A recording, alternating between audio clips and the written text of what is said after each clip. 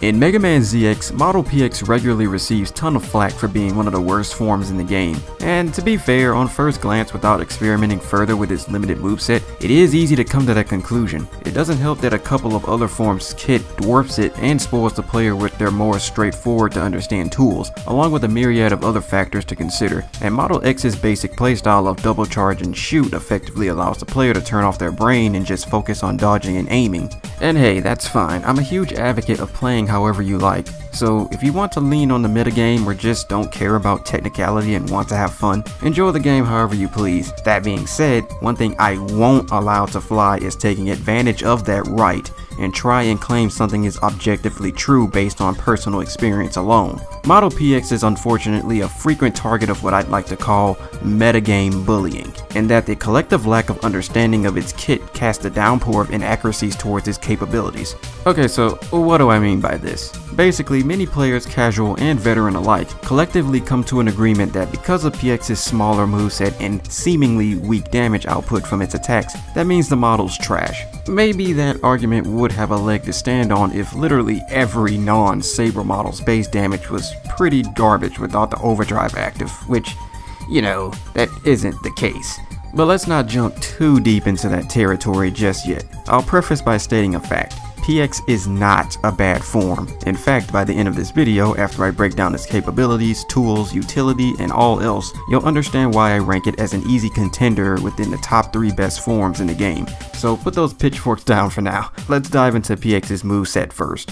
PX throws a total of 4 kunai knives per prolonged press of the attack buttons. Each deals a single point of boss damage into an extremely quick combo, which is quite weak despite this. However, one type of overdrive will boost that to 2 damage per hit. If it were any stronger than that, it'd be kinda broken considering the combo system. Grounded and dashing kunais are clearly better ensuring you land all 4, but later I'll get into the usefulness of the aerial throws more or less PX's most versatile tool. Given that it's only a level 1 charged attack, it allows you to net constant DPS and rack up tons of damage within a short time frame with the multi-hits. Honestly, even if you don't loop it like the shield boomerang in the Zero series, you can easily get away with just turning off your brain and spamming this thing with overdrive, given it takes little to no time to charge it. Having the best move in its arsenal being a level 1 charge is more powerful than you think. Here's an interesting one. PX's shield has quite a few uses. It negates projectiles but disappears upon contact with either a decently powerful attack or contact with the enemy itself. However, it also deals damage, about 3 to bosses, 6 with overdrive active, which can really come in handy if you're speeding through a section and there's a pesky enemy in the way that you want to kill while keeping momentum. I'll discuss more of its capabilities later. Returning from the Zero series, Shadow Dashing is as simple as just dashing while Overdrive is active. Doing so will allow PX to phase through virtually any enemy and its attacks, with exceptions here and there as it doesn't save you from instant death hazards and a scarce few attacks from bosses, most notably from Omega. Also, certain enemies function as solid objects so you can't pass through them either. Still, it was a broken foot chip in the Zero series that was very stealth-like, so having that on Phantom's form was a given. Obviously not exclusive to the form, but for the sake of this video, it's essential to capitalize on how the double damage makes a huge difference. We'll jump into more practical uses for overdrive as we delve deeper, where relevant.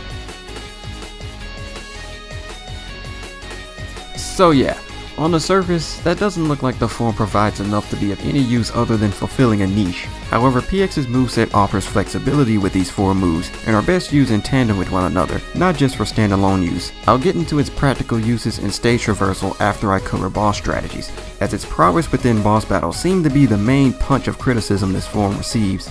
Let's jump into the typical combo that you'd normally use if you're trying to maximize your damage. The form, just like all the other forms in the game, follows the same rules of the hit priority system. Shield, 4 kunai, and shuriken is its strongest combo without the shuriken loop included enough to shave off a huge chunk of 1 bar of HP within mere seconds. Now, not every boss will allow you to perform this seamlessly, as the likes of Pandora, Lurerre, and Leganchor aren't grounded bosses. Lurerre you can do it if you've got enough good timing with shadow dashing, but this is primarily a grounded combo. You'd think because of this PX has no other options to select from to combat non-grounded bosses. And, well, that's not the case. This is where Shadow Dash can be your lifeline. The mere fact that PX can phase through anything allows for it to create openings normally not feasible for other forms. Just having the ability to dash with overdrive charged kunai during the Shadow Dash allows for safe, extremely quick, and sneaky damage against bosses. and opens the menus for multiple opportunities to keep up your aggression, while staying almost 100% safe. I say almost because again, a few moves and like half of Omega's moveset can clap you right out of those iframes. And it's not a situational thing either. Literally every move can be used in conjunction with it in some way or another. Let's take the shield for an example. If you're afraid of taking collision damage while trying to go for maximum damage in a boss battle, you can just shadow dash with the shield active. Throwing kunai during the shadow dash against regular enemies are also just universally great. Shuriken paired with shadow dash isn't as impressive as with kunai and shield, but clever use of shuriken loop can allow you to use the full PX combo in the air, as shown in the battle against Hivolt here. However, if you throw the shuriken ahead of time, you can also just allow it to follow you after you shadow dash through an enemy. That's also kind of useful too. Speaking of aerials, I guess this is a good enough time to explain practical uses for the aerial kunai. Naturally, if you release all four during a single press, you'll get this spread throw that won't be very effective on bosses, nor on some of the weakest enemies in the game for that matter. Overdrive helps take care of the weak enemies, but still, in most cases you'll only land one of them from a safe distance on a boss, which is a measly 2 damage with Overdrive active. However, if you use them point blank, you'll actually net most of the hits, making that same combo I did on Hivolt much more effective on the damage side of things. To get more into how to negate the issues during the stages, you can cancel the spread throw by just mashing the attack button. This keeps the kunai firing in a V-shaped angle, think the V-shot from Mega Man Zero 03 and lends itself to being a much better enemy shredder than even Buster Shot Lemons can compare to in Model X. In most cases, you don't even need overdrive to kunai enemies to death, conserving energy in the process. This technique works exactly the same as it does in the Zero series, but allow me to replay a clip from part 2 of my Zero series tech guide, which details how damage stacking works. Damage stacking is when two attacks overlap with each other, and the resulting effect is that they reset each other and deal damage on every frame upon collision. The simplified version, toss a boomerang, saber when boomerang touches the enemy. Simple as that. In 0-1, you can do this with the triple rod and boomerang too, but it's way more effective with a skull crush from the Z-Saber and charged attack. However, this doesn't work on bosses. It's more of a mini-boss shredder. But even with all of that in mind, there's no shield boomerang in the game that make that possible, since Model HX is the only one with a built-in damage stacker in the form of its triple slash and the sonic boom firing from it. I wonder how... Oh yeah. Now this still presents a problem. PX doesn't have a saber. That only leaves kunai, and even then you've got a very narrow window to throw just a few kunai to allow the overlapping per frame damage. So what's left? Well, there's always the loop. Because you can grant yourself ample time to prepare yourself for the shuriken's loop toward the enemy, this allows you to position yourself just right to toss a metric crap ton of kunai to add to the shuriken, and rack up this multi-frame damage. Of course, you'll only find great mileage out of this from mini-bosses, but hey, that's pretty much what the damage stacking was primarily used for in the Zero series, so that's not a fault for PX. So all of this is fine and dandy, but like every other Guardian model, PX needs to manage its weapon energy wisely. What I'm about to briefly explain are methods to conserve this energy wisely so you can enter boss rooms with ample to spare. Luckily for you, PX is a model that lends itself to low weapon energy consumption in general, since Shuriken is level 1 charge, and Shield won't be nearly used as much in comparison on a regular basis. Rely more on Kunai and Shadow Dash in stages. It goes without saying that since Phantom himself was a ninja, it's stand to realize PX PX benefits more from passing unnecessary enemies in the way. Going all murder happy like with the Saber models is fine and all, but only because their kit allows for it without much loss in resources. Since speed and stealth is its game, dashing with kunai spam and accurate aerial throws will get the job done against the enemies you do need to kill. And of course Shadow Dash is like right there to briefly pass by pests that you do not need to waste energy on. Get into the habit of alternating overdrive on and off. Quickly activating overdrive during an attack, then immediately switching it off will do your energy reserves a huge favor. This is less of a PX thing and more so just a general guideline to energy consumption across the board for other forms. If you need to use a shuriken, be sure to damage stack with it during a mini boss fight, or rely on a single loop of the shuriken if possible. These intermission battles within certain areas are generally pretty demanding of your energy, so your weapon bar will thank you later for relying on the shuriken loop. And hey, you'll get a quick kill out of it with less energy spent. Don't get discouraged if you can't loop with just one shuriken, just manage as few throws as you can. Don't abuse Shadow Dash. I know it's very tempting to just skip almost everything in the area to make things easier, but then that's just gonna leave you with barely anything to use against the bosses if you're trying to play PX primarily, or if you're unlucky with energy refills during the stage. Though if you do wanna just use PX for stages and use whatever model for whatever boss, then uh, I mean that, that's not a bad idea either, but this video is all about PX, not the others.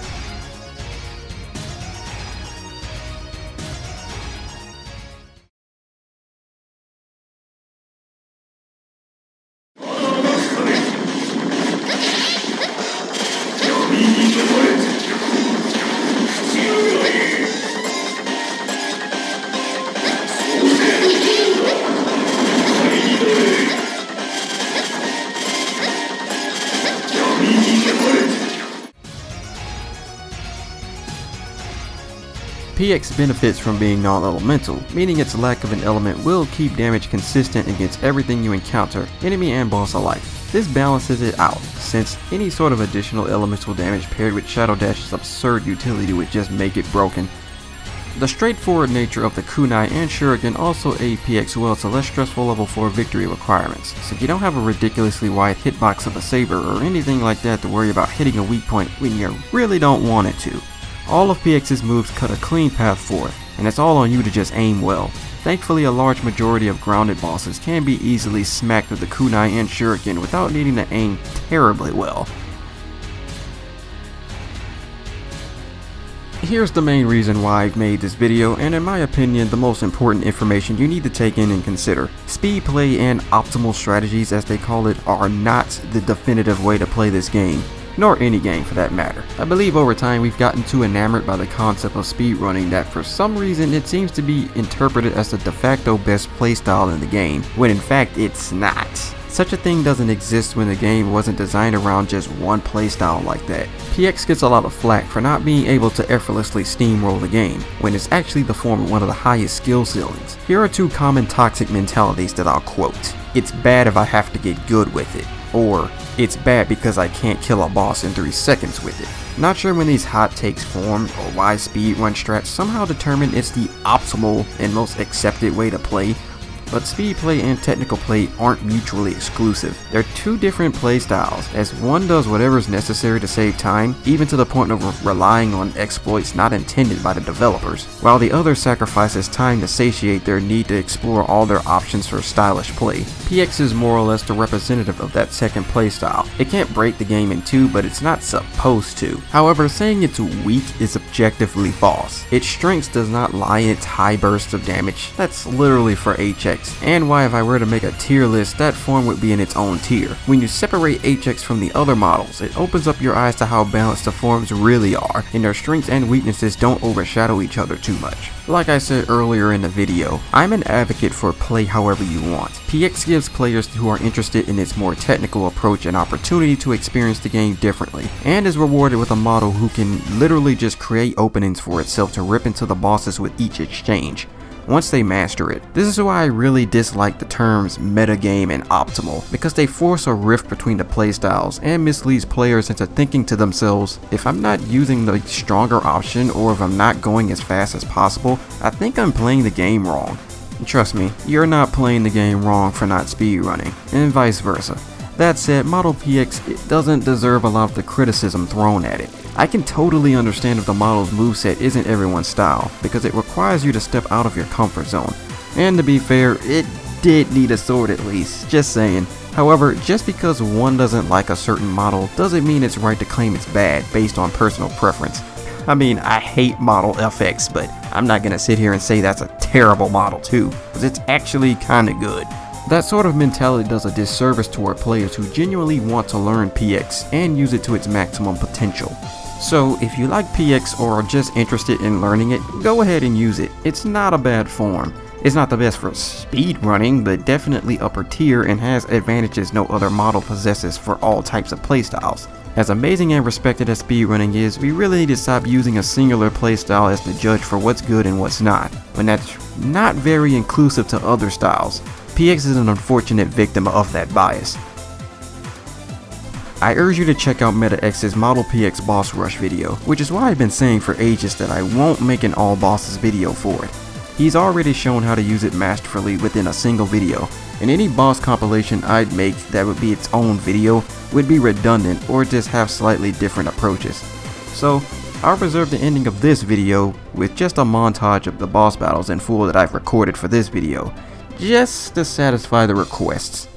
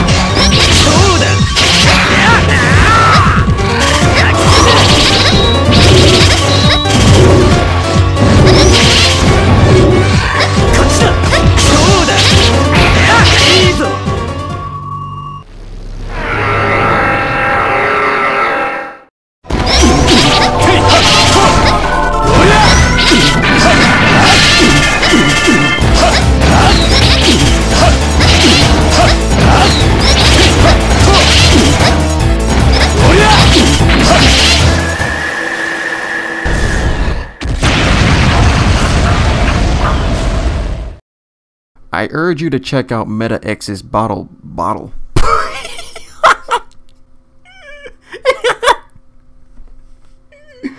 okay, Meta X, apparently you have a bottle now. I demand to see it. I urge you to check out Meta X's bottle. Why do I keep saying bottle? I urge you to check out Meta X's. I can't stop. I urge you to check out Metal X's model model bottle. Uh, okay, that's why I've been saying bottle. okay, there we go.